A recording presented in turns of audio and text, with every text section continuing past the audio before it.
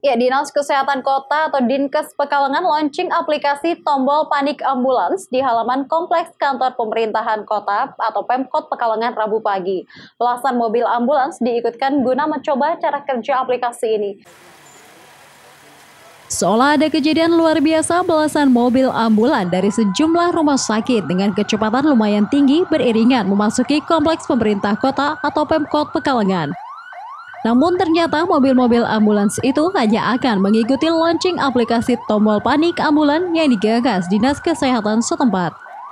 Aplikasi tombol panik ambulans ini dibuat guna menjawab keluhan warga atas sulitnya mendapatkan akses terhadap mobil ambulans terutama di saat-saat darurat. Untuk dapat menggunakan aplikasi ini, masyarakat diminta segera mengunduhnya dari Play Store.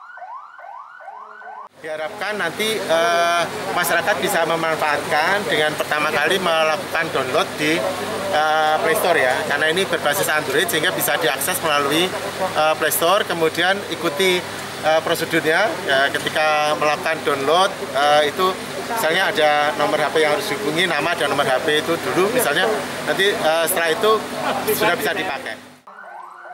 Wali Kota Pekalongan Ahmad Afsan Arslan Junaid menyambut baik aplikasi ini karena dirinya kerap dihubungi warga yang kesulitan mendapatkan ambulans di saat mereka dalam keadaan darurat dan membutuhkan pertolongan untuk membawa pasien ke fasilitas kesehatan terdekat.